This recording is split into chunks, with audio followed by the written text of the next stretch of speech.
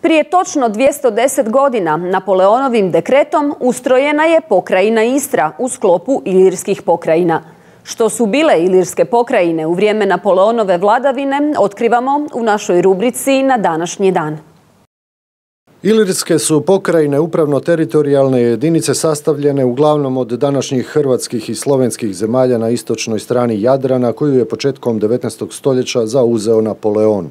One su obuhvaćale bivšu mletačku i austrijsku Istru, dio civilne Hrvatske južno od Save, šest pukovnija vojne krajnje južno od Save, bivšu mletačku Dalmaciju, teritoriji netom ukinute Dubrovačke republike, Boku Kotorsku, Kranjsku, Goričku, Zapadnu Korušku, odnosno okružje Beljak, dio Tirola te Trst.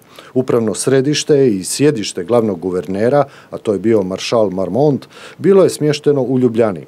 Pokrajina Istra nastala je spajanjem letačkog i austrijskog dijela te pripajanjem Trsta i dijela Krasa, a upravno joj je središte bilo u Trstu. Na čelu svake pokrajine bio je intendant koji je imao ovlasti prefekta u francuskim departmanima. U sklopu modernizacije uprave uveden je niz zakona iz francuskog carstva. Uslijedilo je poboljšanje poreznog sustava, a uvedene su i carinske olakšice. Međutim, prekomjerno iskorištavanje podanika za ratne potrebe te neracionalna uprava dovela je do nezadovoljstva i seljačkih nemira.